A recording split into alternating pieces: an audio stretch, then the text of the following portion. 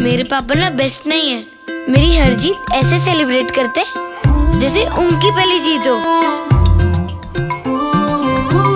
मेरे पापा ना बेस्ट नहीं है, तभी तो ग्रेट है। ग्रेटनेस को देखने का नज़रिया ग्रेट होना तो हम सब में कहीं ग्रेटनेस मौजूद है। New Wagon R make everyday great